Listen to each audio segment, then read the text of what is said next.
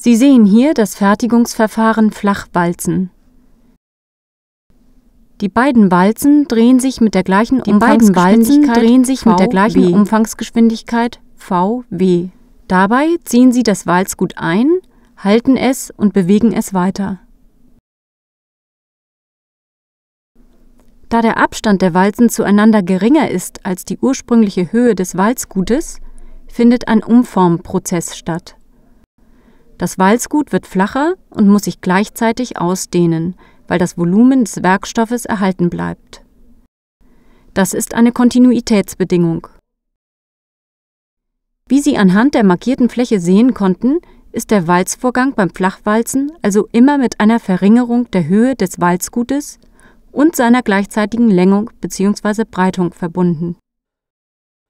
Bedingt durch diese Längung respektive Breitung wird das Walzgut zudem in seiner Bewegungsrichtung beschleunigt.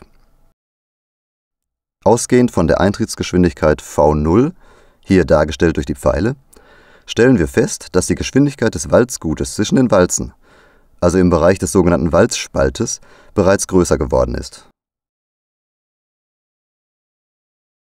Hier bewegt sich das Walzgut entsprechend der Umfangsgeschwindigkeit der Walzen vw.